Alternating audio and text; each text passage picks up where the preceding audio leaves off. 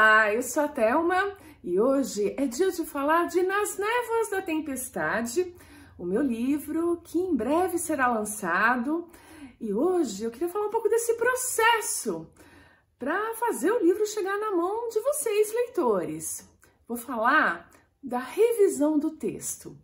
Mas antes, eu queria convidá-los a se inscreverem aqui no canal, curtirem esse vídeo se vocês gostarem tem as redes sociais com conteúdos diferentes. Eu acho que vocês vão curtir conhecê-las. Então vamos falar da revisão de um livro antes de chegar na mão do leitor?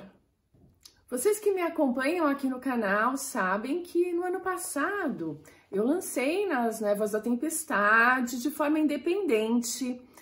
Eu paguei um revisor de texto para lançar o e-book na ocasião, porque esse é um aprendizado importante. Mesmo quando você é um autor independente, a revisão é fundamental para lançar o livro com uma qualidade, com o texto realmente adequado, nas normas e tudo certinho. A gente que escreveu, é claro que tem que se preocupar com a correção desse texto. Mas, de certa forma, os autores ficam imunes aos erros que eles estão cometendo, seja de digitação, seja de português, seja as normas da editora que vão padronizar a paginação, os detalhes dessa edição, todos os, os, um, os pontos que a editora respeita as regras dela. Era isso que eu queria dizer. Então, mesmo sendo independente, você tem que adotar um padrão editorial para o seu livro. E quando você manda o texto para um revisor que você contrata, ele vai adequar esse, esse texto, mantê-lo correto, seguindo essas regras editoriais e aí, posteriormente, você tem a diagramação desse texto para finalmente se obter um e-book. Agora, como eu sou uma escritora da Cartola Editora, o meu texto eu revisei, eu contei para vocês que era um livro mais extenso, estava com bastante páginas e eu preferi diminuir esse texto. Eu tirei 25% dessas páginas, eu dei uma enxugada no texto.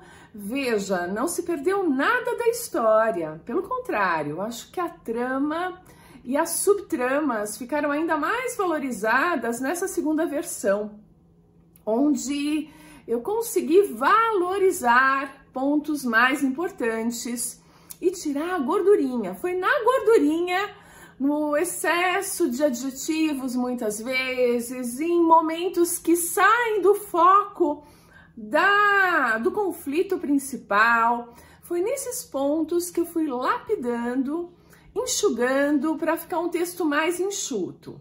Feito isso, uma nova revisão precisaria ser feita. E de qualquer forma, a Cartola Editora tem o seu revisor de texto e tem o seu padrão editorial. Então, quando vai para as mãos dos revisores, eles vão tanto corrigir o português, a digitação, como enquadrar o texto nessas normas. Veja, por exemplo, como os diálogos são feitos. São feitos com travessão ou são feitos com aspas?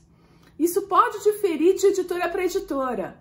Então, a Cartola Editora tem o padrão dela para uh, ser adequado. E a revisora, ela vai exatamente corrigir esse texto e adequar para esse padrão seguido pela editora. Mais ou menos há um mês ou mais, eu terminei as minhas revisões do texto e enviei para a Cartola. E o Rodrigo me avisou: olha, agora os revisores estão ocupados com outros livros, assim que houver uma vaga, o seu livro entra na revisão. Isso aconteceu há uns 20 dias atrás. Entrou na revisão e, enfim, fiquei aguardando. E nessa quinta, o Rodrigo me enviou o miolo, ou seja, o livro sem a capa, para que eu conferisse como estavam as informações, a paginação, porque já estava todo diagramado e revisado. Então, mediante a minha aprovação, que eu preciso fazer até hoje, domingo, eu entrego ah, os pontos que eu notei que existe uma letrinha trocada, alguma coisa assim, porque basicamente o que eu uh, identifiquei até agora, eu tô ainda na página 140, tenho ainda umas 100 páginas pela frente, mas vai dar tempo eu identifiquei isso, uma letrinha trocada, uma coisinha ou outra bem mínima. Eu passo essa lista de correções para o Rodrigo e aí vão ser feitas no texto. E amanhã, imagino, segunda-feira, esse livro já vá para impressão. Olha que emoção, gente. Eu vou mostrar então para vocês esse miolo, o comecinho dele, só para vocês verem como é e como foi emocionante me deparar com essa versão eletrônica do livro. Então, esse é o miolo que chegou aqui em casa de forma eletrônica. Então, vem, vocês veem o símbolo da cartola na primeira página. E aí a gente já chega nas próximas páginas. Aqui, nas Névoas da Tempestade, primeira edição, da Cartola Editora 2023. Gente, aqui eu devo dizer que me bateu uma emoção quando eu vi. Primeira edição, sabe quando você imagina as próximas, os próximos livros? O primeiro como o primeiro passo numa longa caminhada. Eu fiquei bem emocionada, e aí vem equipe técnica, né, a ficha técnica, a frase de Shakespeare, da Tempestade, que eu usei para abertura. E aí a gente chega para o meu agradecimento à minha amiga Pati, que é minha leitora beta, alfa, beta, gama, minha leitora e amiga. E o prólogo, e é aqui no prólogo que eu quero ler um pouquinho para vocês como um esquenta para o lançamento do livro. Pois é, então eu tenho relido o texto todo, observando essa diagramação e retorno amanhã com tudo para a editora. E aqui eu queria aproveitar e ler um pedacinho do prólogo para vocês sentirem um pouquinho dessa vibração, dessa da energia de nas névoas da tempestade. Os olhos de Beatriz vagavam pelo passado. Enquanto o gramado roçava os seus pés, a alma observava uma tempestade digna de pesadelos.